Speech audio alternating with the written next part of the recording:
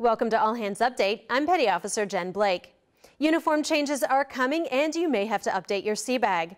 Navy officials are working to approve new uniform items and update some older ones. Changes will include a new warm-up suit for PT, a cold weather parka, an overhaul of the female chiefs and officers dress whites, and lightweight NWUs for tropical environments. The new warm-up suit will closely resemble the running suit the Marines currently wear, and the new parka will be a black version of the Coast Guard's 3-in-1 parka. The new female chiefs and officers dress whites will be redesigned to look more like their male counterparts dress whites, and the lightweight NWUs are designed to be more breathable and cooler.